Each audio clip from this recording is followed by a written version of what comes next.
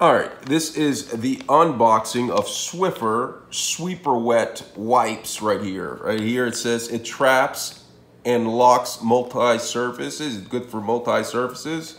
All right, so there's three wet cloths inside. And on the back, it just shows like what to look for. You see how it scrubs. It says scrubbing strip removes tough spots. All right, textured wet cloths trap and lock deep dirt deep in cloth, which is really cool. It just shows like how to apply that. I'll go over that later. Check the description part of the page for that video.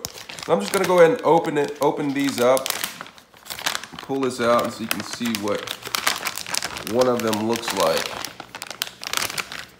All right, so here's one of the cloths.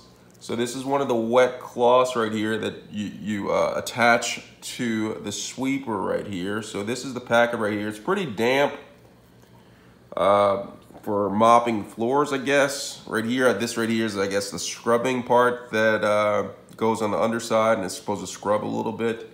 But this is the unboxing of it. It's pretty wet, it's dripping. Let me put it back inside before I get everything wet. But that's the unboxing of the Swiffer Sweeper Wet Wipes. Let me know if you have any questions and let me know what your experience is with this product.